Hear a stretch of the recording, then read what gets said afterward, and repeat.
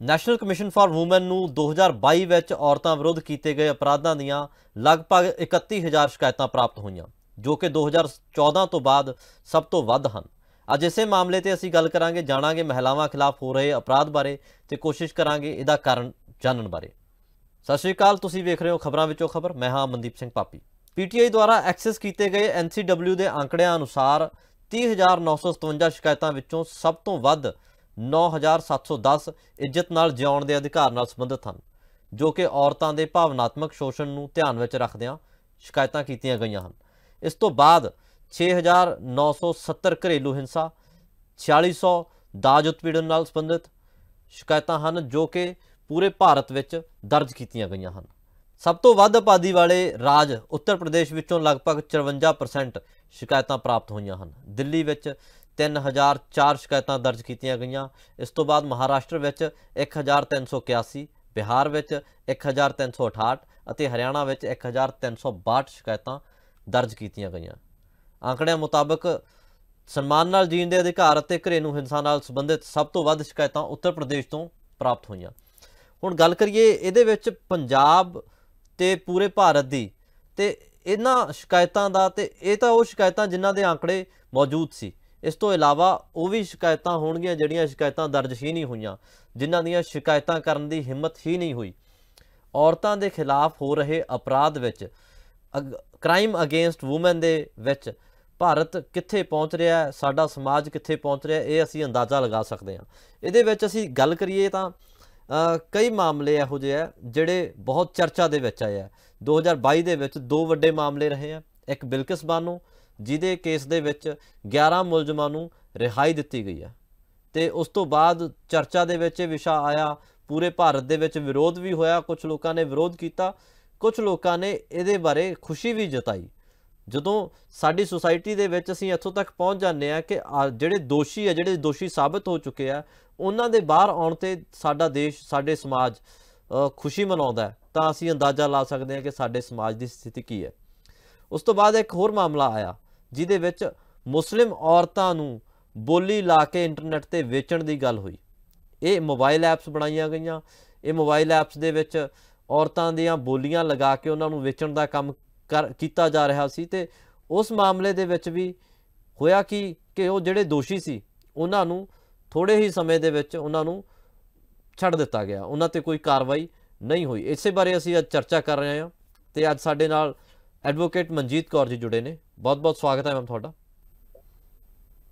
Ma'am ਜੋ ਕੁਝ ਦੇਖ ਰਹੇ ਹਾਂ ਅਸੀਂ ਸਮਾਜ ਦੇ ਵਿੱਚ, ਔਰਤਾਂ ਦੇ ਖਿਲਾਫ ਅਪਰਾਧ ਵੱਧਦਾ ਜਾ ਰਿਹਾ ਹੈ ਤੇ ਉਹਦੇ ਕਈ ਇਨਸੀਡੈਂਟ ਸਾਡੇ ਸਾਹਮਣੇ ਆ ਰਹੇ ਤੁਹਾਨੂੰ ਕੀ ਲੱਗਦਾ ਕਿ ਤੁਹਾਡੇ ਮੁਤਾਬਕ ਇਹਦਾ ਕਾਰਨ ਕੀ ਹੈ? ਮੇਰੇ ਵੱਲੋਂ ਸਾਰੇ ਸਰੋਤਿਆਂ ਨੂੰ ਸਤਿ ਸ੍ਰੀ ਅਕਾਲ। ਸਰ ਜਿਹੜਾ ਮੈਨੂੰ ਮੇਨ ਕਾਰਨ ਲੱਗਦਾ ਸਾਡੀ ਮਾਨਸਿਕਤਾ ਹੈ। ਸਾਡੀ ਜਿਹੜੀ ਪਿੱਤਰ ਸਤਾਤਮਕ ਮਾਨਸਿਕਤਾ ਨਾ ਔਰਤਾਂ ਨੂੰ ਲੈ ਕੇ ਜਿਹਨੂੰ ਅਸੀਂ ਪੈਟਰੀਆਰਕੀ ਕਹਿੰਦੇ ਆ ਜਦੋਂ ਤੱਕ ਸਾਡੀ ਉਹ ਨਹੀਂ ਬਦਲੇਗੀ ਅਸੀਂ ਔਰਤ ਨੂੰ ਜੈਂਡਰ ਦੇ ਬੇਸ ਤੇ ਹੀ ਇੱਕ ਕਿ ਫੀਮੇਲ ਜੈਂਡਰ ਆ ਉਹਦਾ ਲਿੰਗ ਜਿਹੜਾ ਹੈ ਉਹ ਔਰਤ ਹੈ ਲੜਕੀ ਹੈ ਅਸੀਂ ਇਸ ਦੇ ਨਜ਼ਰੀਏ ਤੋਂ ਔਰਤ ਨੂੰ ਦੇਖਾਂਗੇ ਉਦੋਂ ਤੱਕ ਅਸੀਂ ਮਤਲਬ ਇਹ ਦੁੱਖ ਦੀ ਗੱਲ ਹੈ ਕਿ ਅਸੀਂ ਉਹਨੂੰ ਮਨੁੱਖੇ ਨਹੀਂ ਸਮਝਦੇ। ਜੀ। ਇੱਕ ਸੋਸਾਇਟੀ ਚ ਸਮਾਜ ਚ ਮਰਦ ਵੀ ਨੇ ਔਰਤਾਂ ਵੀ ਨੇ ਥਰਡ ਜੈਂਡਰ ਵੀ ਹੈ ਬੱਚੇ ਨੇ। ਅਸੀਂ ਔਰਤ ਨੂੰ ਹਲੇ ਵੀ ਇੱਕ ਔਰਤ ਦੇ ਨਜ਼ਰੀਏ ਤੋਂ ਹੀ ਦੇਖਦੇ ਹਾਂ। ਲੇਕਿਨ ਅਸੀਂ ਪੂਰੀ ਸੋਸਾਇਟੀ ਐਜ਼ ਅ ਹੋਲ ਅਸੀਂ ਇੱਕ ਹਿਊਮਨ ਬੀਇੰਗ ਨਹੀਂ ਸਮਝਦੇ। ਤੇ ਜਿੱਥੇ ਵੀ ਕਿਤੇ ਕੋਈ ਰਾਤ ਨੂੰ ਜਾਂ ਦਿਨ ਨੂੰ ਕਿਤੇ ਵੀ ਲੱਗਦਾ ਕਿ ਔਰਤ ਕੱਲੀ ਹੈ ਜਾਂ ਉਹ ਇਨਸਿਕਿਉਰਿਟੀ ਵਾਲੀ ਸਿਚੁਏਸ਼ਨ ਚੋਂ ਨਿਕਲ ਰਹੀ ਹੈ, ਤਾਂ ਉੱਥੇ ਜਿਹੜੇ ਨਿਕਲਣ ਵਾਲੇ ਲੋਕ ਨੇ ਜਾਂ ਕੋਈ ਕਾਰਾਂ ਲੈ ਕੇ ਜਾ ਰਹੇ ਨੇ ਜਾਂ ਕੋਈ ਰਸਤੇ 'ਚ ਮਿਲਣ ਵਾਲੇ ਲੋਕ ਨੇ, ਉਹ ਫਾਇਦਾ ਉਠਾਉਣਾ ਚਾਹੁੰਦੇ ਨੇ ਕਿਉਂਕਿ ਉਹਨੂੰ ਉਸ ਵੇਲੇ ਨਜ਼ਰ ਆਉਂਦਾ ਕਿ ਮੈਂ ਇੱਕ ਮਰਦ ਹਾਂ ਔਰ ਜਿਹੜੀ ਇਕੱਲੀ ਤੁਰੀ ਜਾਂਦੀ ਹੈ, ਇਹ ਇੱਕ ਔਰਤ ਹੈ। ਸੋ ਉਹਦੀ ਮਾਨਸਿਕਤਾ ਉਸੇ ਵੇਲੇ ਹਵਾਨੀਅਤ 'ਚ ਬਦਲ ਜਾਂਦੀ ਹੈ। ਚਾਹੇ ਉਹ ਛੇੜਖਾਨੀ ਦਾ ਮਸਲਾ ਲੈ ਲਓ ਭਾਵੇਂ ਉਹ ਵੈਸੇ ਦੂਜੀਆਂ ਜਿਹੜੀਆਂ ਫਿਜ਼ੀਕਲ ਅਸਾਲਟ ਦੀਆਂ ਘਟਨਾਵਾਂ ਨੇ ਉਹ ਲੈ ਲਓ ਜੀ। ਔਰ ਚਾਹੇ ਰੋਡ ਰੇਜ ਦਾ ਮਸਲਾ ਲੈ ਲਓ ਜੋ ਕਿ ਜਿਸ ਤਰ੍ਹਾਂ ਕਿ ਆਪਾਂ ਰੋਜ਼ ਹੀ ਦੇਖ ਰਹੇ ਹਾਂ।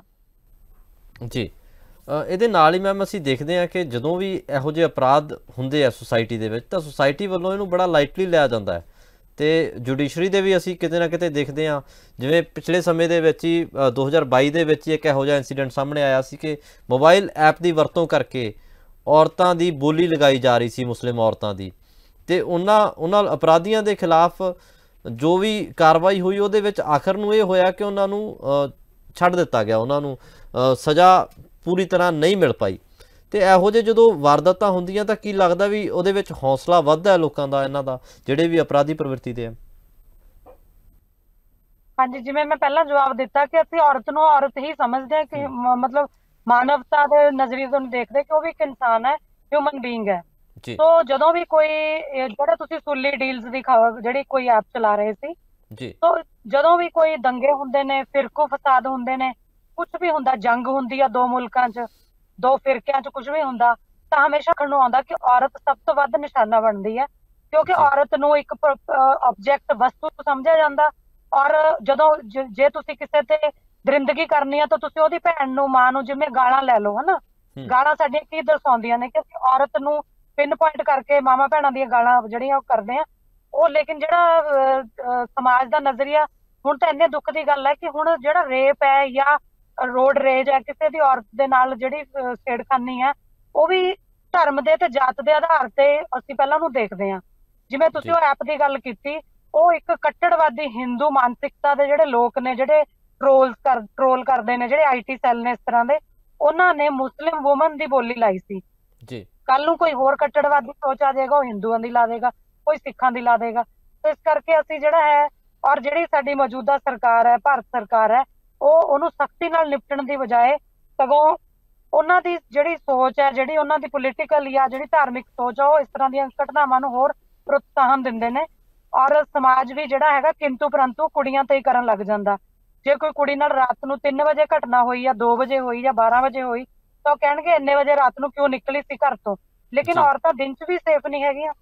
ਸਭ ਤੋਂ ਜ਼ਿਆਦਾ ਸਮਾਜ ਸਮਾਜ ਦੂਜਾ ਮੈਂ ਕਹੂੰਗੀ ਪੁਲਿਸ। ਜਿਹਨੇ ਜਿੰਨੇ ਮਰਜ਼ੀ ਕਾਨੂੰਨ ਬਣਾ ਲਓ ਜਿਹੜੇ ਕਾਨੂੰਨ ਨੇ ਉਹਨਾਂ ਨੂੰ ਲਾਗੂ ਕਿਹਨੇ ਕਰਨਾ? ਪੁਲਿਸ ਨੇ। ਪੁਲਿਸ ਦੀ ਜਿਹੜੀ ਮਾਨਸਿਕਤਾ ਹੈ ਉਹ ਬਿਲਕੁਲ ਇਨਸੈਂਸਿਟਿਵ ਹੈ। ਉਹ ਬਿਲਕੁਲ ਸੰਜੀਦਾ ਨਹੀਂ ਹੈਗੇ ਉਹਨਾਂ ਦੀ ਟ੍ਰੇਨਿੰਗ ਉਸ ਤਰ੍ਹਾਂ ਦੀ ਨਹੀਂ ਹੈਗੀ। ਉਹਨਾਂ ਨੂੰ ਭਰਤੀ ਹੋਣ ਤੋਂ ਬਾਅਦ ਕਿਸੇ ਨੂੰ ਫਲੋਰ ਲੈ ਜਾਂਦੇ ਨੇ ਕਿਸੇ ਨੂੰ ਮਧੂਬਨ ਲੈ ਜਾਂਦੇ ਨੇ। ਥਾਂ ਤਾਂ ਪੁਲਿਸ ਟ੍ਰੇਨਿੰਗ ਸੈਂਟਰ ਨੇ। ਜਦੋਂ ਤੱਕ ਪੁਲਿਸ ਟ੍ਰੇਨਿੰਗ ਸੈਂਟਰਾਂ 'ਚ ਇੱਕ ਔਰਤਾਂ ਦੇ ਬੱਚਿਆਂ ਦੇ ਇਸ਼ੂਜ਼ ਨੂੰ ਵੱਧ ਸੰਜੀਦਗੀ ਨਾਲ ਵੱਧ ਸੈਂਸਿਟਾਈਜੇਸ਼ਨ ਨਾਲ ਟ੍ਰੇਨਿੰਗ ਨਹੀਂ ਦੋਗੇ ਤੇ ਕੋਈ ਜਿਵੇਂ ਹੁਣ ਦਿੱਲੀ ਦੀ ਘਟਨਾ ਫੋਰ ਐਗਜ਼ਾਮਪਲ ਪਰਸੋਂ ਜਿਹੜਾ ਕੇਸ ਹੋਇਆ ਜੀ। ਉਹ ਇੱਕ ਲੜਕਾ ਜਿਹੜਾ ਜਿਹਨੇ ਕੰਪਲੇਂਟ ਕੀਤੀ ਉਹ ਕਹਿ ਰਿਹਾ ਕਿ ਜੀ 2-3 ਘੰਟੇ ਪੁਲਿਸ ਮੈਨੂੰ ਘਮਾਈ ਗਈ। ਐਂਡ 올 ਦੀ ਪੁਲਿਸ ਪਰਸਨਲ ਵਰ ਡਰੰਕਰਡ ਪੋਜੀਸ਼ਨ ਔਰ ਤਕਰੀਬਨ ਮੈਂ ਕਹਿਣਾ ਚਾਹੂੰਗੀ ਤੁਹਾਡੇ ਮੀਡੀਆ ਦੇ ਥਰੂ ਰਾਤ ਨੂੰ ਤੁਸੀਂ ਥਾਣਿਆਂ 'ਚ ਜਾ ਕੇ ਦੇਖੋ 60% ਤੋਂ ਉੱਤੇ ਐਲਕੋਹਲਿਕ ਮਤਲਬ ਡਰੰਕਰਡ ਬੰਦੇ ਹੁੰਦੇ ਨੇ। ਔਰ ਉਹ ਸੀਰੀਅਸਲੀ ਨਹੀਂ ਲੈਂਦੇ ਹੈਗੇ ਜਦ ਤੱਕ ਉਹਨਾਂ ਦੇ ਬਿਲਕੁਲ ਸਾਹਮਣੇ ਪ੍ਰਤੱਖ ਤੌਰ ਤੇ ਕੋਈ ਵੱਡਿਆ ਟੁੱਕਿਆ ਨਹੀਂ ਪਿਆ। ਹੂੰ। ਜਾਂ ਕੋਈ ਔਰਤ ਛੋਟੇ-ਮੋਟੇ ਘਰੇਲੂ ਹਿੰਸਾ ਨੂੰ ਲੈ ਕੇ ਤੁਸੀਂ ਪੁਲਿਸ ਸਟੇਸ਼ਨ ਜਾਓ ਉਹ ਇਹਨੂੰ ਬਹੁਤ ਹੀ ਹਲਕੇ ਤਰੀਕੇ ਨਾਲ ਲੈਂਦੇ ਨੇ। ਛੇੜਖਾਨੀ ਦੀ ਘਟਨਾਵਾਂ ਨੂੰ ਤਾਂ ਜਮਾ ਹੀ ਹਲਕੇ ਤਰੀਕੇ ਨਾਲ ਲੈਂਦੇ ਨੇ। ਸੋ ਇਸ ਕਰਕੇ ਪੁਲਿਸ ਨੂੰ ਸਪੈਸ਼ਲ ਟ੍ਰੇਨਿੰਗ ਦੇਣੀ ਪਊਗੀ। ਪਤਾ ਨਹੀਂ ਕਦੋਂ ਟ੍ਰੇਨਿੰਗ ਹੋਊਗੀ। ਬੇਟੀ ਬਚਾਓ ਬੇਟੀ ਪੜਾਓ ਧੀਆਂ ਸਾਡਾ ਮਾਣ ਨੰਨੀ ਛਾ ਕਿੰਨੇ ਪ੍ਰੋਜੈਕਟ ਚੱਲ ਪਏ। ਪੈਸਾ ਧੜਾ ਧੜ ਖਰਚ ਹੋ ਰਿਹਾ ਪਰ ਮੈਂ ਮੈਂ 95 ਤੋਂ ਵਕਾਲਤ ਚ ਹਾਂ ਸਰ। ਮੈਂ ਉਦੋਂ। ਤੋਂ ਦੇਖ ਰਹੀ ਹਾਂ 1995 ਚ ਜੋ ਹਾਲਾਤ ਸੀ ਹੁਣ ਵੀ ਮੈਨੂੰ ਉਹੀ ਦੁਖਦਾਈ ਹਾਲਾਤ ਦੇਖਣ ਨੂੰ ਮਿਲੇ। ਜਦੋਂ ਵੀ ਕੋਈ ਘਟਨਾ ਜਿਹੀ ਹੁੰਦੀ ਹੈ ਚਾਹੇ ਕਚਹਿਰੀ ਤੋਂ ਬਾਹਰ ਨੇ ਪੁਲਿਸ ਦੇ ਲੈਵਲ ਤੇ ਨੇ ਭਾਵੇਂ ਸਮਾਜ ਦੇ ਲੈਵਲ ਤੇ ਨੇ ਔਰ ਉਸ ਤੋਂ ਬਾਅਦ ਜਦੋਂ ਚਲਾਨ ਪੇਸ਼ ਹੋ ਕੇ ਕੋਰਟ 'ਚ ਟ੍ਰਾਇਲ ਹੁੰਦਾ, ਉੱਥੇ ਵੀ ਕੋਈ ਬਹੁਤ ਸੁਖਾਵਾਂ ਮਾਹੌਲ ਨਹੀਂ ਹੈਗਾ ਔਰਤਾਂ ਦੇ ਲਈ। ਉੱਥੇ ਵੀ ਬਹੁਤ ਔਰਤਾਂ ਖੱਜਲ ਖੁਆਰ ਹੁੰਦੀਆਂ ਨੇ। ਜੀ, ਸਾਡੀ ਸੁਸਾਇਟੀ ਦੀਆਂ ਵੈਲਿਊਜ਼ ਦੀ ਜਦੋਂ ਅਸੀਂ ਗੱਲ ਕਰਦੇ ਹਾਂ, ਤਾਂ ਉਹਨਾਂ ਵੈਲਿਊਜ਼ ਦੇ ਵਿੱਚ ਹੀ ਕਿਤੇ ਨਾ ਕਿਤੇ ਕਮੀ, ਕਿਤੇ ਨਾ ਕਿਤੇ ਉਹ ਵੈਲਿਊਜ਼ ਸਿਖਾਉਣ ਦੇ ਵਿੱਚ ਵੈਲਿਊਜ਼ ਪੜਾਉਣ ਦੇ ਵਿੱਚ ਹੀ ਕਮੀ ਨਜ਼ਰ ਆਉਂਦੀ ਹੈ, ਤਾਂ ਕਿ ਔਰਤਾਂ ਜਿਹੜੀਆਂ, ਜਦੋਂ ਵੀ ਉਹ ਕਿਸੇ ਦੀ ਕੰਪਲੇਂਟ ਵੀ ਕਰਨ ਉਹਨਾਂ ਦੇ ਨਾਲ ਕੋਈ ਹਾਦਸਾ ਹੁੰਦਾ ਹੈ ਜਾਂ ਛੇੜਖਾਨੀ ਹੁੰਦੀ ਹੈ ਉਹਦੀ ਕੰਪਲੇਂਟ ਕਰਨ ਦੇ ਵਿੱਚ ਵੀ ਉਹ ਸਹਿਜ ਨਹੀਂ ਹੁੰਦੀਆਂ। ਉਹਦੇ ਲਈ ਵੀ ਉਹ ਡਰਦੀਆਂ, ਉਹਨਾਂ ਨੂੰ ਲੱਗਦਾ ਕਿ ਜੇ ਅਸੀਂ ਕੰਪਲੇਂਟ ਕਰਾਂਗੇ, ਥਾਣੇ ਦੇ ਵਿੱਚ ਜਾਵਾਂਗੇ ਤਾਂ ਹੋ ਸਕਦਾ ਸਾਨੂੰ ਕਿਸ ਤਰੀਕੇ ਦੇ ਸਵਾਲ ਪੁੱਛੇ ਜਾਣਗੇ ਜਾਂ ਸਾਡੇ ਕੈਰੈਕਟਰ ਤੇ ਸਵਾਲ ਚੱਕੇ ਜਾਣਗੇ, ਸਾਨੂੰ ਜੱਜ ਕੀਤਾ ਜਾਊਗਾ। ਇਹ ਸਭ ਕੁਝ ਹੁੰਦਾ ਵੀ ਆ, ਔਰਤਾਂ ਨੂੰ ਝੱਲਣਾ ਵੀ ਪੈਂਦਾ। ਹੈ। ਤੇ ਇਹਦੇ ਲਈ ਬੇਸਿਕ ਜਿਹੜੀ ਟ੍ਰੇਨਿੰਗ ਆ, ਉਹ ਤਾਂ ਹੈ ਹੀ ਹੈ ਟ੍ਰੇਨਿੰਗ ਪੁਲਿਸ ਨੂੰ ਟ੍ਰੇਨਿੰਗ ਤਾਂ ਦੇ- ਦੇਣੀ ਜ਼ਰੂਰੀ ਹੈ ਆਮ ਤੌਰ ਤੇ ਅਸੀਂ ਦੇਖੀਏ ਕਿ ਸਕੂਲਾਂ ਦੇ ਵਿੱਚ ਹਜੇ ਤੱਕ ਸਾਡੇ ਮੋਰਲ ਵੈਲਿਊਜ਼ ਨੂੰ ਕਿੰਨੀ ਕੁ ਜਗ੍ਹਾ ਮਿਲਦੀ ਹੈ ਜਾਂ ਮੋਰਲ ਵੈਲਿਊਜ਼ ਨੂੰ ਕਿੰਨੀ ਕੁ ਸਪੇਸ ਮਿਲਦੀ ਹੈ, ਉਹਨਾਂ ਨੂੰ ਕਿੰਨਾ ਕੁ ਪੜਾਇਆ ਜਾਂਦਾ, ਕਿੰਨਾ ਕੁ ਸਿਖਾਇਆ ਜਾਂਦਾ, ਇਹ ਵੀ ਇੱਕ ਵੱਡਾ ਸਵਾਲ ਹੈ। ਤੁਹਾਨੂੰ ਕੀ ਲੱਗਦਾ ਕਿ ਸਕੂਲਾਂ ਦੇ ਵਿੱਚ ਜਦੋਂ ਬੱਚਿਆਂ ਨੂੰ ਮੁੱਢਲੀ ਸਿੱਖਿਆ ਮਿਲਦੀ ਹੈ, ਉਸ ਵੇਲੇ ਕਿਹੜੀਆਂ-ਕਿਹੜੀਆਂ ਕਮੀਆਂ ਅੱਜ ਦੇ ਸਮਾਜ ਦੇ ਵਿੱਚ ਹੈਗੀਆਂ, ਅੱਜ ਦੇ ਐਜੂਕੇਸ਼ਨ ਸਿਸਟਮ ਦੇ ਵਿੱਚ ਹੈਗੀਆਂ? ਮੋਰਲ ਨੈਤਿਕਤਾ ਨਾਲੋਂ ਮੈਂ ਚਾਹੂੰਗੀ ਕੋਈ ਚੀਜ਼ ਜਿਹੜੀ ਮੇਰੇ ਲਈ ਨੈਤਿਕ ਹੋਰ ਲਈ ਅਨੈਤਿਕ ਹੋ ਸਕਦੀ ਹੈ। ਮੋਰਲ ਨਾਲੋਂ ਇਕੁਐਲਿਟੀ ਦਾ ਜਿਹੜਾ ਹੈ ਜਿਹੜੀ ਸੈਂਸਿਟਾਈ ਜੈਂਡਰ ਸੈਂਸਿਟਾਈਜੇਸ਼ਨ ਕਰਨੀ ਚਾਹੀਦੀ ਹੈ ਸਾਨੂੰ ਕਿ ਮਤਲਬ ਅਸੀਂ ਜਿਵੇਂ ਮੈਂ ਸ਼ੁਰੂ ਚ ਗੱਲ ਕੀਤੀ ਹੈ ਕਿ ਅਸੀਂ ਇਨਸਾਨ ਹੈ। ਮਤਲਬ ਜੇ ਇੱਕ ਬੱਚੇ ਨੇ ਉਹ ਸ਼ੁਰੂ ਤੋਂ ਹੀ ਉਹਨੂੰ ਫੀਮੇਲ ਦੇ ਐਂਗਲ ਤੋਂ ਦੇਖਣਾ ਸ਼ੁਰੂ ਕਰ ਦਿੰਦਾ। ਫਿਰ ਸਾਡੀਆਂ ਜਿਹੜੀਆਂ ਤੁਸੀਂ ਸੋਸ਼ਲ ਗਾਣੇ ਲਾ ਲਓ ਫਿਲਮਾਂ ਲਾ ਲਓ ਜਿਹਦੇ ਚ ਔਰਤ ਨੂੰ ਇੰਨਾ ਆਬਜੈਕਟੀਫਾਈ ਕਰਿਆ ਜਾਂਦਾ ਕਿ ਉਹਦੀ ਮਤਲਬ ਇੱਕ ਵਸਤੂ ਦੇ ਤੌਰ ਤੇ ਉਹਨੂੰ ਪੇਸ਼ ਕੀਤਾ ਜਾਂਦਾ। ਬੀਟ ਪੰਜਾਬੀ ਸੌਂਗਸ ਔਰ ਹਿੰਦੀ ਸੌਂਗਸ ਫਿਲਮੀ ਸੌਂਗਸ ਜੋ ਵੀ ਹੈ ਧਾਰਾਵਾਹਿਕ ਲਾ ਲਓ ਫਿਲਮਾਂ ਲਾ ਲਓ ਗਾਣੇ ਲਾ ਲਓ। ਔਰ ਔਰਤ ਨੂੰ ਜਦੋਂ ਤੱਕ ਬਸ ਉਹਦੀ ਖੂਬਸੂਰਤੀ ਉਹਦੀ ਬਿਊਟੀ ਉਹਦੇ ਸਰੀਰ ਦੀ ਬਣਾਵਟ ਕਿਵੇਂ ਦੀ ਹੈ ਉਹ ਸੋਹਣੀ ਲੱਗਦੀ ਹੈ ਜਾਂ ਨਹੀਂ ਸੋਹਣੀ ਲੱਗਦੀ ਤੇ ਇਸ ਤਰ੍ਹਾਂ ਦੀ ਹੀ ਜਦੋਂ ਅਸੀਂ ਇੱਕ ਤਰ੍ਹਾਂ ਦੀ ਜਿਹੜੀ ਸਾਡੀ ਨੈਤਿਕਤਾ ਹੀ ਇਸ ਲੈਵਲ ਤੇ ਖੜੀ ਹੋ ਜਾਊਗੀ ਜਾ ਕੇ ਫਿਰ ਅਸੀਂ ਕੁਝ ਵੀ ਉਮੀਦ ਨਹੀਂ ਕਰ ਸਕਦੇ। ਰਹੀ ਗੱਲ ਸਕੂਲਾਂ ਦੀ ਸਕੂਲਾਂ 'ਚ ਵੀ ਜਿਹੜਾ ਹੈ ਆਪਾਂ ਆਪਣੇ ਸਕੂਲਾਂ ਤੋਂ ਵੀ ਜ਼ਰੂਰੀ ਮੈਂ ਕਹੂੰਗੀ ਬੱਚਿਆਂ ਨੂੰ ਮੁੰਡੇ ਖਾਸ ਕਰ ਜਿਹੜੇ ਨੇ ਘਰਾਂ 'ਚ ਜਦੋਂ ਬੱਚਾ ਮੁੰਡਾ ਪੈਦਾ ਹੁੰਦਾ ਤੇ ਉਹਨੂੰ ਬਚਪਨ ਤੋਂ ਹੀ ਪਿਸਟਲ ਲੈ ਕੇ ਦਿੰਨੇ ਆ ਜੀਪ ਲੈ ਕੇ ਦਿੰਨੇ ਆ ਹਨਾ ਟਰੈਕਟਰ ਲੈ ਕੇ ਦਿੰਨੇ ਆ ਕੁੜੀਆਂ ਨੂੰ ਅਸੀਂ ਡਾਲਸ ਲੈ ਕੇ ਦਿੰਨੇ ਆ ਹਨਾ ਬਾਰਬੀ ਡਾਲਸ ਹੋਰ ਇਹ ਉਹ ਤੇ ਅਸੀਂ ਮੁੰਡਿਆਂ ਨੂੰ ਟ੍ਰੇਨਿੰਗ ਇਹ ਜੀ ਦਿੰਨੇ ਆ ਕਿ ਤੁਸੀਂ ਪਿਸ- ਪਿਸਤੌਲ ਚਲਾਓ ਜੀਪਾਂ ਚਲਾਓ ਜਾਂ ਮੋਟਰਸਾਈਕਲ ਲਗਾਓ ਫਿਰ ਜਿਹੜੇ ਉਹ ਬੱਚਿਆਂ ਦੀਆਂ ਗੇਮਸ ਨੇ ਉਹ ਬੱਚੇ ਬਚਪਨ ਚ ਦੇਖੋ ਆਵਾਜ਼ਾਂ ਕੱਢ ਕੱਢ ਕੇ ਉਸ ਤਰ੍ਹਾਂ ਦੀ ਰੇਸਿੰਗ ਹਨਾ ਕਾਰ ਰੇਸਿੰਗ ਗੇਮਸ ਹੁੰਦੀਆਂ ਨੇ ਸਾਰੀਆਂ। ਸੋ ਕਿਤੇ ਨਾ ਕਿਤੇ ਮਾਨਸਿਕਤਾ ਮੁੰਡੇ ਦੀ ਸ਼ੁਰੂ ਤੋਂ ਹੀ ਮੈਂ ਤੁਹਾਨੂੰ ਕਿਹਾ ਕਿ ਪਿਤਰ ਸਤਾਤਮਕ ਸਮਾਜ ਚ ਉਹਨੂੰ ਸਿਖਾਇਆ ਜਾਂਦਾ ਵੀ ਤੂੰ ਇਸ ਤਰ੍ਹਾਂ ਦੀ ਰੈਸ਼ ਚੀਜ਼ਾਂ ਕਰਨੀਆਂ ਨੇ। ਜਦੋਂ ਕਿ ਲੜਕੀਆਂ ਕੁਝ ਤਾਂ ਆਪਣੇ ਆਪ 'ਚ ਸੰਜੀਦਾ ਹੁੰਦੀਆਂ ਨੇ ਕੁਝ ਉਹਨਾਂ ਨੂੰ ਅਸੀਂ ਸੰਜੀਦਾ ਬਣਾ ਦਿੰਨੇ ਆ ਉਹ ਆਪਣੀ। ਸੰਜੀਦਗੀ ਕਰਕੇ ਹੀ ਬਹੁਤ ਛੇਤੀ ਕੰਪਲੇਂਟ ਕਰਨ ਨੂੰ ਈਵ ਟੀਜ਼ਿੰਗ ਦੇ ਮਸਲੇ 'ਚ ਤਿਆਰ ਨਹੀਂ ਹੁੰਦੀਆਂ। ਔਰ ਦੂਸਰਾ ਉਸ ਤੋਂ ਬਾਅਦ ਅਗਰ ਚਲੀਆਂ ਵੀ ਜਾਣ ਤਾਂ ਉੱਥੇ ਪੁਲਿਸ ਨਹੀਂ ਹੈਲਪਿੰਗ ਹੁੰਦੀ। ਪੁਲਿਸ ਤੋਂ ਬਾਅਦ ਕੋਰਟ ਕਚਹਿਰੀਆਂ ਦਾ ਸਿਸਟਮ ਹੈ। ਮਤਲਬ ਮੈਂ ਤਾਂ ਇੰਨਾ ਮ- ਕਈ ਵਾਰੀ ਇੰਨੀ ਉਦਾਸ ਹੋ ਜਾਂਦੀ ਹਾਂ ਇੰਨੀ ਮਾਨਸਿਕ ਤੌਰ ਤੇ ਡਿਪਰੈਸਿੰਗ ਸਟੇਟ ਆਫ ਮਾਈਂਡ 'ਚ ਆ ਜਾਂਦੀ ਹਾਂ ਕਿ ਤੁਸੀਂ ਮਤਲਬ ਪੁਲਿਸ ਸਟੇਸ਼ਨ ਵਾਲੇ ਰੇਪ ਦੇ ਕੇਸਿਸ ਨੂੰ ਵੀ ਇੰਨਾ ਲਾਈਟਲੀ ਲੈਂਦੇ ਨੇ। ਜੀ। ਔਰ ਰੇਪ ਤੋਂ ਬਾਅਦ ਅਗਰ ਕੋਈ ਮਰਡਰ ਹੋਇਆ ਹੋਇਆ ਫਿਰ ਉਹ ਥੋੜਾ ਜਿਹਾ ਜਾਗਦੇ ਨੇ ਵੀ ਅੱਛਾ ਮਰਡਰ ਹੋਇਆ ਹੋਇਆ। ਫਿਰ ਜਿਵੇਂ ਨਿਰਭਇਆ ਕੇਸ ਲਾ ਲਓ ਜਾਂ ਹੋਰਾਂ ਚ ਵੀ ਲਾ ਲਓ ਹਨਾ। ਜਾਂ ਜਿਹੜੀ ਪੀੜਤ ਉਹ ਤੁਹਾਨੂੰ ਵੈਜੀਟੇਟਿਵ ਸਟੇਜ 'ਚ ਬਿਲਕੁਲ ਵੱਡੀ ਟੁੱਕੀ ਮਿਲੀ ਹੈ ਬਸ। ਉਸ ਤੋਂ ਬਾਅਦ ਵੀ ਇੱਕ ਸਭ ਤੋਂ ਜ਼ਿਆਦਾ ਜਿਹੜਾ ਅੱਜ ਦੀ ਡੇਟ 'ਚ ਸਰ ਮੀਡੀਆ ਜਿਹੜਾ 네ਗੇਟਿਵ ਰੋਲ ਪਲੇ ਕਰ ਰਿਹਾ। ਮੀਡੀਆ ਤੇ ਵੀ ਹੁਣ ਤੁਸੀਂ ਪਰਸੋਂ ਵਾਲੇ ਇਨਸੀਡੈਂਟ ਨੂੰ ਲਾ ਕੇ ਮਿਲ ਗਈ ਸਹੇਲੀ ਖੁੱਲੇਗੀ ਨਹੀਂ ਪਹੇਲੀ ਉਹ ਮਤਲਬ ਇੱਕ ਮਿਰਚ ਮਸਾਲਾ ਲਾ ਕੇ ਸੈਂਸਿਟਾਈਜ਼ ਕਰਕੇ ਹੋਰ ਤਰੀਕੇ ਨਾਲ ਸਨਸਨੀਖੇਜ ਮਤਲਬ ਜੀ। ਨਿਊਜ਼ ਦੇਣੀ। ਜਦੋਂ ਕਿ ਉਹਦੇ ਪਿੱਛੇ ਦਾ ਜਿਹੜਾ ਤਰਕ ਵਿਤਰਕ ਨਹੀਂ ਕਰਨਾ ਵੀ ਇਸ ਤਰ੍ਹਾਂ ਦੀਆਂ ਘਟਨਾਵਾਂ ਕਿਉਂ ਹੋ ਰਹੀਆਂ ਨੇ ਸਾਡੀਆਂ? ਕਿਉਂ ਨਹੀਂ ਸਾਡੀਆਂ ਬੱਚੀਆਂ ਰਾਤ ਦੇ 3 ਵਜੇ ਵੀ ਬਾਹਰ ਨਿਕਲ ਸਕਦੀਆਂ? ਹਮੇਸ਼ਾ ਉਂਗਲੀ ਪਹਿਲਾਂ ਕੁੜੀ ਤੇ ਉੱਠਦੀ ਹੈ ਕਿ ਉਹ ਰਾਤ ਨੂੰ 3 ਵਜੇ ਬਾਹਰ ਕੀ ਕਰ ਰਹੀ ਸੀ? ਮਤਲਬ ਇੰਨੀ ਮੂਰਖ ਮਾਨਸਿਕਤਾ ਹੈ ਕਿ ਰਾਤ ਨੂੰ ਲੜਕੀਆਂ ਜੱਜ ਨੇ ਲੜਕੀਆਂ ਡਾਕਟਰਸ ਨੇ ਲੜਕੀਆਂ 24 ਘੰਟੇ ਪੁਲਿਸ ਨੇ ਲੜਕੀਆਂ ਡਰਾਈਵਰ ਨੇ ਲੜਕੀਆਂ ਪਾਇਲਟ ਨੇ ਉਹਨਾਂ ਨੇ ਬਾਹਰ ਤਾਂ ਨਿਕਲਣਾ ਹੀ ਨਿਕਲਣਾ। ਲੇਕਿਨ ਹਾਲੇ ਵੀ ਸਾਡੀਆਂ ਸੜਕਾਂ ਬਿਲਕੁਲ ਅਸੁਰੱਖਿਅਤ ਨੇ ਕੁੜੀਆਂ ਵਾਸਤੇ। ਸੋ ਬਰਾਬਰੀ ਦਾ ਸਿਧਾਂਤ ਜਦ ਤੱਕ ਤੁਸੀਂ ਬਰਾਬਰੀ ਨਹੀਂ ਮਨੁੱਖ ਨੂੰ ਮਨੁੱਖ ਨਹੀਂ ਸਮਝੋਗੇ ਪਹਿਲਾਂ ਤਾਂ। ਬਜਾਏ ਸਮਝਣ ਦੇ ਵੀ ਇਹ ਕੁੜੀ ਹੈ ਇਹ ਆਈਟਮ ਹੈ ਇਹ ਖੂਬਸੂਰਤ ਹੈ ਇਹ ਸੜਕ ਤੇ ਇਕੱਲੀ ਚੱਲ ਰਹੀ ਹੈ। ਕਿਉਂਕਿ ਉਸ ਵੇਲੇ ਤੁਸੀਂ ਜੈਂਡਰ ਬਾਇਸ ਹੋ ਗਏ ਨਾ ਉਸ ਉਹਨੂੰ ਕੁੜੀ ਸਮਝਣ ਲੱਗੇ ਜਾਂ ਔਰਤ ਸਮਝਣ ਲੱਗੇ ਲੇਕਿਨ ਇੱਕ ਮਨੁੱਖ ਨੂੰ ਮਨੁੱਖਤਾ ਦੀ ਤਰ੍ਹਾਂ ਸਮਝੋ ਨਾ ਜੋ ਸਾਡੇ ਮਤਲਬ ਸਾਡੇ ਧਰਮ ਸੁਨੇਹਾ ਦਿੰਦੇ ਨੇ ਜਾਂ ਸਾਡਾ ਸਾਡੀ ਕਲਚਰ ਜਿਵੇਂ ਸਮਝਿਆ ਜਾਂਦਾ। ਸੋ ਜਦੋਂ ਜੈਂਡਰ ਸਪੈਸਿਫਿਕ ਹੋ ਕੇ ਚੱਲੋਗੇ ਤੁਸੀਂ ਖਾਸ ਤੌਰ ਤੇ ਤੇ ਉਸ ਤਰੀਕੇ ਸਭ ਤੋਂ ਜ਼ਿਆਦਾ ਜਿਹੜਾ ਸਾਡਾ ਗਾਣੇ ਨੇ ਗੀਤ ਨੇ ਸਾਡੀਆਂ ਜਿਹੜੀਆਂ ਫਿਲਮਾਂ ਬਣ ਰਹੀਆਂ ਨੇ ਜਾਂ ਮਾਨਸਿਕਤਾ ਸਾਡੀ ਉਸ ਤਰੀਕੇ ਦੀ ਤਿਆਰ ਹੋ ਜਾਂਦੀ ਹੈ ਬਚਪਨ ਤੋਂ ਹੀ। ਇਹ ਜਿਹੜੀ ਹੈ ਮਤਲਬ ਆਪਣੇ ਆਪ ਹੀ ਅਸੀਂ ਚੀਜ਼ਾਂ ਸਿੱਖ ਜਾਂਦੇ ਹਾਂ ਹਨਾ? ਜਿਵੇਂ ਕੁੜੀਆਂ ਰੋਂਦੀਆਂ ਨੇ ਮੁੰਡੇ ਰੋਂਦੇ ਨਹੀਂ ਹੁੰਦੇ। ਮੁੰਡਾ ਵੀ ਇਨਸਾਨ ਹੈ ਮੁੰਡਾ ਵੀ ਇੱਕ ਦੁੱਖ ਦੇ ਵੇਲੇ ਰੋ ਸਕਦਾ ਇਕੱਲੀ ਕੁੜੀ ਨਹੀਂ ਰੋਏਗੀ। ਸੋ ਜਦ ਤੱਕ ਬਰਾਬਰੀ ਦਾ ਸਿਧਾਂਤ ਸਮਾਜ 'ਚ ਨਹੀਂ ਆਏਗਾ ਮਨੁੱਖ ਹੱਥੋਂ ਮਨੁੱਖ ਦੀ ਲੁੱਟ ਖਸੁੱਟ ਨਹੀਂ ਹੋਊਗੀ ਔਰ ਉਹਦੀ ਕਿਰਤ ਦੀ ਲੁੱਟ ਨਹੀਂ ਹੋਊਗੀ। ਔਰ ਉਸ ਤੋਂ ਬਾਅਦ ਜਿਹੜੀ ਜਦੋਂ ਕਿਰਤ ਜਦੋਂ ਮਨੁੱਖ ਹੱਥੋਂ ਮਨੁੱਖ ਦੀ ਲੁੱਟ ਹੁੰਦੀ ਹੈ ਔਰਤ ਹਮੇਸ਼ਾ ਹੀ ਉਦੋਂ ਥੱਲੇ ਵਾਲੇ ਪਾਇਦਾਨ ਤੇ ਰੱਖੀ ਜਾਂਦੀ ਹੈ ਔਰਤ ਨੂੰ ਤਾਂ ਵਸਤੂ ਤੋਂ ਇਲਾਵਾ ਕੁਝ ਨਹੀਂ ਸਮਝਿਆ ਜਾਂਦਾ। ਜਿਵੇਂ 1947 ਵੇਲੇ ਵੰਡ ਹੋਈ ਉਸ ਤੋਂ। ਪਹਿਲਾਂ ਜਿੰਨੇ ਵੀ ਮਹਿ- ਮਹਿਮੂਦ ਗਜ਼ਨਵੀ ਆਇਆ ਗੌਰੀ ਆਇਆ ਅਸੀਂ ਔਰਤਾਂ ਨੂੰ ਲੁਕੋ ਲੈਂਦੇ ਸੀ ਹਨਾ? ਕਿ ਸਾਡੀਆਂ ਧੀਆਂ ਭੈਣਾਂ ਨੂੰ ਇੱਜ਼ਤ ਵਰਾਨ ਕਰਨਗੇ ਚੱਕ ਕੇ ਲੈ ਜਾਣਗੇ। ਹੱਲਿਆਂ ਵੇਲੇ ਵੀ 1947 ਚ ਔਰਤਾਂ ਹੀ ਦੁੱਖ ਭੋਗਿਆ। ਸੋ ਇਹ ਜਿਹੜੀ ਮਾਨਸਿਕਤਾ ਸਾਰੀ ਪਿਤਾ ਪੁਰਖੀ ਮਾਨਸਿਕਤਾ ਹੈ ਕਿ ਔਰਤ ਨੂੰ ਵਸਤੂ ਸਮਝ ਕੇ ਉਹਨੂੰ ਇੱਕ ਇਨਸਾਨ ਨਹੀਂ ਸਮਝਣਾ। ਸੋ ਮੈਂ ਤਾਂ ਇਹ ਸਮਝਦੀ ਹਾਂ ਕਿ ਪਹਿਲਾਂ ਉਹਨੂੰ ਇਨਸਾਨ ਹੋਣ ਦਾ ਦਰਜਾ ਦੇ ਦਿਓ। ਕੱਲਾ ਇਨਸਾਨ ਇਹ ਨਹੀਂ ਕਿ ਪੜਾਤਾ ਤੁਸੀਂ ਉਹਨੂੰ ਚੰਗੇ ਕੱਪੜੇ ਦੇਤੇ। ਆਪਣੇ ਦਿਮਾਗ 'ਚ ਵੀ ਔਰਤਾਂ ਨੂੰ ਅਸੀਂ ਪ੍ਰਾਪਰਟੀ 'ਚ ਰਾਈਟ ਨਹੀਂ ਦਿੰਦੇ ਪਿਓ। ਦੀ ਪ੍ਰਾਪਰਟੀ 'ਚ ਰਾਈਟ ਨਹੀਂ ਮਿਲਦਾ। ਜੋ ਮੰਗ ਲੈਂਦੀ ਆ ਤਾਂ ਉਹਨੂੰ ਦੁਸ਼ਮਣ ਸਮਝ ਲਿਆ ਜਾਂਦਾ। ਆਹ ਫਿਰ ਹੂੰ। ਕਿੱਥੇ ਬਰਾਬਰੀ ਆਈ ਸਾਡੀ? ਅਸੀਂ ਹੂੰ। ਬਰਾਬਰ ਨਹੀਂ ਹਾਂ ਹਲੇ ਵੀ। ਬਿਲਕੁਲ। ਜਿਵੇਂ ਤੁਸੀਂ ਗੱਲ ਕੀਤੀ ਕਿ ਔਰਤਾਂ ਨੂੰ ਘਰ ਦੇ ਵਿੱਚ ਵੀ ਬਰਾਬਰ ਨਹੀਂ ਸਮਝਿਆ ਜਾਂਦਾ ਇਹਦੇ ਨਾਲ ਹੀ ਇੱਕ ਇੱਕ ਗੱਲ ਹੁੰਦੀ ਹੈ, ਜਦੋਂ ਡੋਮੈਸਟਿਕ ਵਾਇਲੈਂਸ ਦੀ ਗੱਲ ਆਉਂਦੀ ਹੈ। ਉਹ ਵਾਲੇ ਕੇਸਿਸ ਐਨੇ ਵੱਧ ਹੁੰਦੇ ਆ ਤੇ ਰਜਿਸਟਰਡ ਐਨੇ ਘੱਟ ਹੁੰਦੇ ਆ, ਸ਼ਿਕਾਇਤਾਂ ਇੰਨੀਆਂ ਘੱਟ ਹੁੰਦੀਆਂ। ਤੇ ਡੋਮੈਸਟਿਕ ਵਾਇਲੈਂਸ ਦੇ ਵਿੱਚ ਗਲਤੀ ਕਿਹਦੀ ਹੈ ਵੱਧ? ਉਹ ਅਸੀਂ ਦੇਖ ਹੀ ਸਕਦੇ ਆ ਕਿ ਘਰਾਂ ਦੇ ਵਿੱਚ ਵਾਇਲੈਂਸ ਹੁੰਦੀ ਹੈ ਉਹ ਵਾਇਲੈਂਸ ਹੋਣ ਦੇ ਬਾਵਜੂਦ ਉਹ ਸਾਰੀ ਉਮਰ ਉਹਨਾਂ ਘਰਾਂ ਦੇ ਵਿੱਚ ਹੀ, ਉਹਨਾਂ ਘਰਾਂ ਦੀ ਰਾਖੀ ਲਈ, ਉਹਨਾਂ ਘਰਾਂ ਦੇ ਪ੍ਰੋਸਪੈਰਿਟੀ ਲਈ ਹੀ ਕੰਮ ਕਰਦੀਆਂ, ਪਰ ਫਿਰ ਵੀ ਸ਼ਿਕਾਇਤ ਨਹੀਂ ਕਰਦੀਆਂ। ਇਸ ਵਾਇਲੈਂਸ ਨੂੰ ਕਿਵੇਂ ਘੱਟ ਕੀਤਾ ਜਾ ਸਕਦਾ? ਹੈ ਸਰ ਮੈਂ ਸਾਡੇ ਕੋਲ ਕੇਸਿਸ ਆਉਂਦੇ ਨੇ ਜਿਵੇਂ ਮੈਂ 25 26 ਸਾਲਾਂ ਤੋਂ ਪ੍ਰੈਕਟਿਸ 'ਚ ਹਾਂ। ਅਸੀਂ ਮੀਡੀਏਸ਼ਨ ਵੀ ਕਰਦੇ ਹਾਂ ਜਿਹੜੀ ਮਧਿਅਸਥਤਾ ਕੇਂਦਰ ਜਿਹਨੂੰ ਕਹਿੰਦੇ ਨੇ ਕਿ ਮੈਟ੍ਰੀਮੋਨੀਅਲ ਕੇਸਿਸ ਮੀਡੀਏਸ਼ਨ 'ਚ ਭੇਜੇ ਜਾਂਦੇ ਨੇ ਕਿ ਕੋਰਟਾਂ ਕੋਲ ਇੰਨਾ ਟਾਈਮ ਨਹੀਂ ਹੁੰਦਾ ਜੱਜਸ। ਕੋਲੇ ਤਾਂ ਕਿ ਆਪਸੀ ਇੱਕ ਟੇਬਲ ਦੇ ਅਕ੍ਰੋਸ ਦਾ ਟੇਬਲ ਪਾਰਟੀਆਂ ਨੂੰ ਬਿਠਾ ਕੇ ਬੜੇ ਦੁੱਖ ਦੀ ਗੱਲ ਹੈ ਜਦੋਂ ਕੁੜੀ ਦੇ ਮਾਪੇ ਆ ਕੇ ਸਾਨੂੰ ਇਹ ਕਹਿੰਦੇ ਨੇ ਕਿ ਇਹ ਲੜਕਾ ਮੇਰੀ ਮੇਰਾ ਜਵਾਈ ਮੇਰੀ ਬੇਟੀ ਨੂੰ ਮਾਰਦਾ ਹੈ। ਹੂੰ। ਅਗਰ ਤਾਂ ਮੇਰੀ ਬੇਟੀ ਕੋਈ ਕਸੂਰ ਕਰੇ ਫਿਰ ਤਾਂ ਇਹਨੂੰ ਮਾਰੇ ਵੀ। ਲੇਕਿਨ ਬਿਨਾਂ ਕਸੂਰ ਹੁਣ ਤੁਸੀਂ ਇਸ ਇੱਕ ਪੁਆਇੰਟ 'ਚ ਉਹਨਾਂ ਦਾ ਨਜ਼ਰੀਆ ਸਮਝੋ। ਜੀ। ਉਹ ਕਹਿੰਦੇ ਵੀ ਜੇ ਕਸੂਰ ਕਰਦੀ ਹੈ ਜੇ ਗਲਤੀ ਕਰਦੀ ਹੈ ਫਿਰ ਤਾਂ ਮਾਰ ਸਕਦਾ। ਹੂੰ। ਜਦੋਂ ਕਿ ਇਹ ਕਿੰਨਾ ਅਣਮਨੁੱਖੀ ਵਤੀਰਾ ਹੈ ਕਿ ਜੇ ਗਲਤੀ ਵੀ ਕਰਦੀ ਹੈ ਤਾਂ ਉਹਨੂੰ ਮਾਰਨਾ ਮਤਲਬ ਅਸੀਂ ਆਪਾਂ ਜਾਨਵਰ ਨੂੰ ਵੀ ਮਾਰਨ ਲੱਗੇ ਸੋਚਦੇ ਹਾਂ। ਤਾਂ ਅੱਜ ਕੱਲ ਹਿਊਮਨ ਹਿਊਮਨ ਰਾਈਟਸ ਦੇ ਨਾਲ ਨਾਲ ਐਨੀਮਲਸ ਦੇ ਰਾਈਟਸ ਵੀ ਨੇ ਬਰਡਸ ਦੇ ਰਾਈਟਸ ਵੀ ਨੇ ਜਿਹੜੇ ਲੋਕ ਬੋਲ ਮਤਲਬ ਵਾਤਾਵਰਣ ਬਾਰੇ ਆਪਾਂ ਗੱਲ ਕਰਦੇ ਹਾਂ।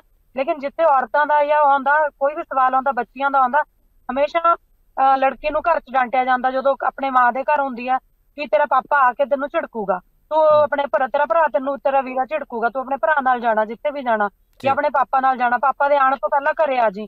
ਜਾਂ। ਭਰਾ ਤੇਰਾ ਫਿਰ ਭਰਾ ਤੇਰਾ ਮਾਰੇਗਾ ਹਨਾ? ਮਤਲਬ ਇਸ ਤਰ੍ਹਾਂ ਦਾ ਉਹਨੂੰ ਉਹਦੇ ਆਪਣੇ ਪਰਿਵਾਰ 'ਚ ਵੀ ਔਰ ਕਿਤੇ ਨਾ ਕਿਤੇ ਅੱਗੇ ਜਾ ਕੇ ਵੀ ਕਹਿੰਦੇ ਨੇ ਵੀ ਜੇ ਸਾਡੀ ਕੁੜੀ ਗਲਤੀ ਕਰਦੀ ਆ ਉਹਨੂੰ ਡਾਂਟੋ ਉਹਨੂੰ ਟਾਰਚਰ ਕਰੋ ਉਹਦੇ ਅਗੇਂਸਟ ਘਰੇਲੂ ਹਿੰਸਾ ਕਰ ਲਓ। ਲੇਕਿਨ ਹੂੰ। ਜੇ ਸਾਡੀ ਕੁੜੀ ਦਾ ਕਸੂਰ ਨਹੀਂ ਹੈਗਾ ਫਿਰ ਤੁਸੀਂ ਹਿੰਸਾ ਨਾ ਕਰੋ। ਹੁਣ ਹੂੰ। ਤੁਸੀਂ ਆਪੇ ਅੰਦਾਜ਼ਾ ਲਾ ਲਓ ਸਾਡੀ ਮਾਨਸਿਕਤਾ ਕਿੱਥੇ ਖੜੀ ਹੋਈ ਹੈ। ਸੋ ਲੜਕੀਆਂ ਦੀ ਨੂੰ ਜਿਹੜੀ ਹੈ ਥੋੜਾ ਜਿਹਾ ਮੈਂ ਲੜਕੀਆਂ ਨੂੰ ਵੀ ਕਹੂੰਗੀ ਸਾਡੇ ਕਾਨੂੰਨ ਬਹੁਤ ਆ ਗਏ ਘਰੇਲੂ ਹਿੰਸਾ ਕਾਨੂੰਨ ਆ ਗਿਆ 2005 ਚ ਹੋਰ ਵੀ ਬੜੇ ਡ- ਡਾਊਰੀ ਐਕਟ ਹੈ। ਲੇਕਿਨ ਕੁਝ ਕੇਸਾਂ ਚ ਹੁੰਦਾ ਕਿ ਬੱਚੀਆਂ ਵੀ ਬਹੁਤ ਜਿਹੜੀ ਸਰ ਜਿਹੜੀ ਸਮਾਜਿਕ ਚੇਂਜ ਹੈ ਨਾ ਜਿਹੜਾ ਸਮਾਜਿਕ ਬਦਲਾਅ ਆਉਣਾ ਉਹ 10 ਸਾਲ is 10 years are equal to 1 century ਜੋ ਮਤਲਬ ਕਾਪੀ ਅਸੀਂ ਜੋ 10 ਸਾਲਾਂ ਚ 100 ਸਾਲ ਚ ਆਉਣੀ ਉਹ ਗੱਲ। ਜੀ। ਜੇ ਹੁਣ ਬੇਟੀਆਂ ਨੂੰ ਮਾਰਨਾ ਪਹਿਲਾਂ ਇਨਫੈਂਟੀਸਾਈਡ ਹੁੰਦਾ ਸੀ ਫਿਰ ਫੀਮੇਲ ਫੀਮੇਲ ਫਿਟੀਸਾਈਡ ਹੋਣ ਲੱਗ ਗਿਆ ਹਨਾ?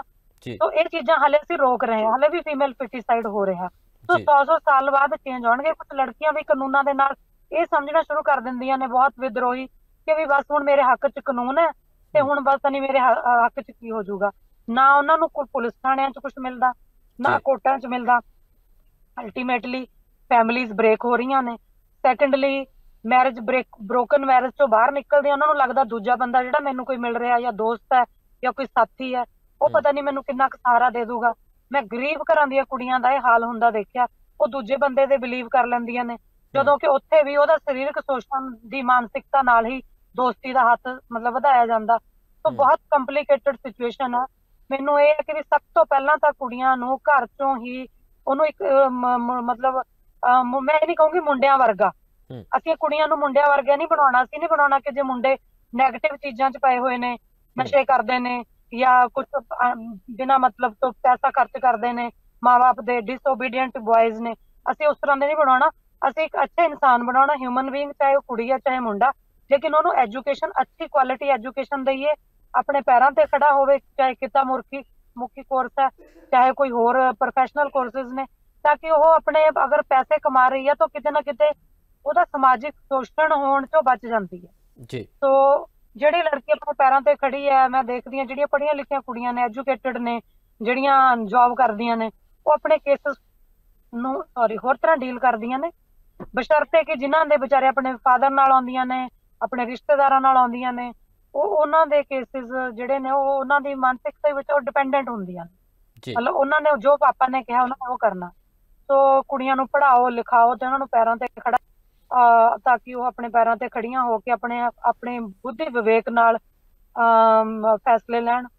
ਔਰ ਬੁੱਧੀ ਵਿਵੇਕ ਕੱਲੀ ਪੜ੍ਹਾਈ ਲਿਖਾਈ ਤੋਂ ਨਹੀਂ ਆਉਂਦਾ। ਅੱਛਾ ਲਿਟਰੇਚਰ ਪੜ੍ਹੋ। ਅੱਛਾ ਗੁਰੂ ਗ੍ਰੰਥ ਸਾਹਿਬ 'ਚ ਜੋ ਕੱਲਾ ਰਟਣ ਦੀ ਗੱਲ ਨਹੀਂ ਕਿ ਸਵੇਰੇ ਸ਼ਾਮ ਪਾਠ ਕਰ ਲਓ।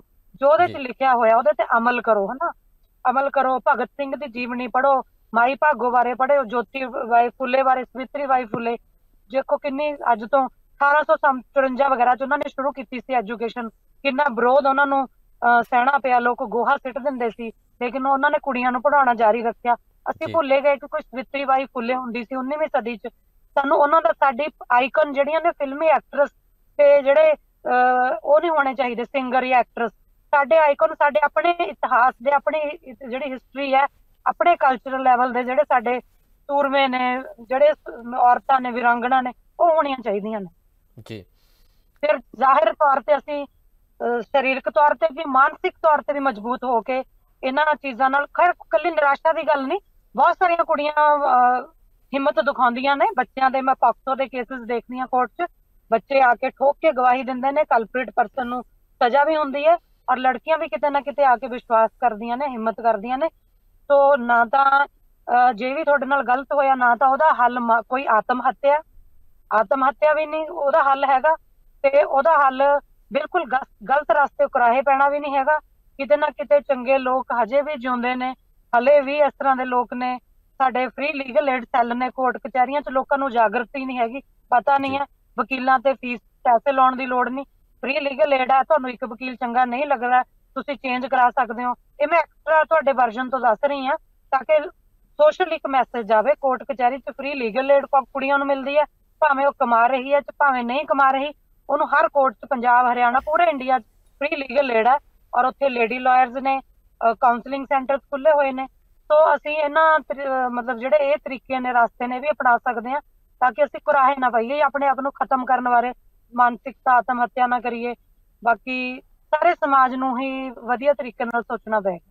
ਜੀ। ਜੀ, ਬਹੁਤ ਬਹੁਤ ਧੰਨਵਾਦ ਮੈਮ।